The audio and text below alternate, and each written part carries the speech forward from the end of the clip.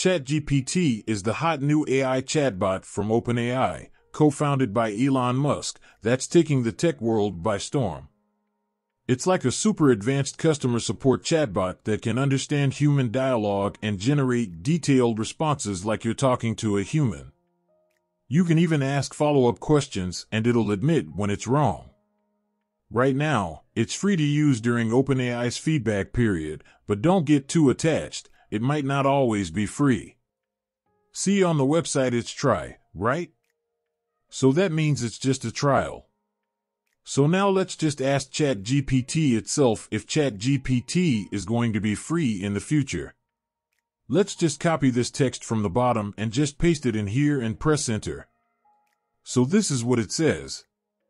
Okay, so you know how sometimes you're shopping online and you can only see a certain amount of information about a product before you have to pay for the full thing?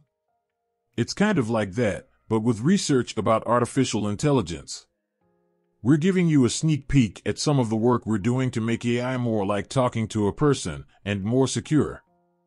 And by giving us your feedback, you're helping us make it even better. Think of it like being a part of a secret AI improvement squad. Pretty cool, right? So there you heard it from the horse's mouth. So what's next?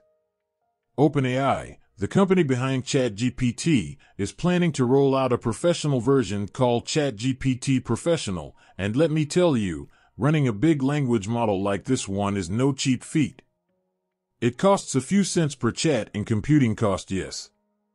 They are losing a cent per chat, just think about how much money they are losing if they keep it for free.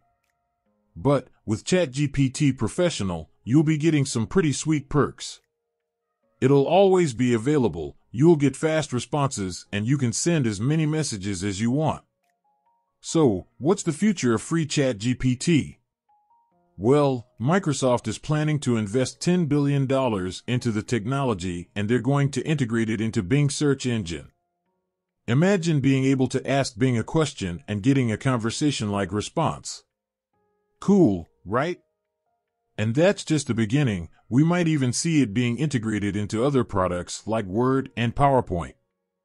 Who knows, it might even replace Cortana in Windows. The possibilities are endless. But, back to the question, is ChatGPT going to remain free? My guess is yes, in some form or another. Just like how we use Google and other services for free, in the future, they might run ads to keep the costs down. So, there you have it, a quick rundown on ChatGPT and its future. If you learned something new, hit the like button and don't forget to subscribe for more future videos. I'll see you next time. Bye.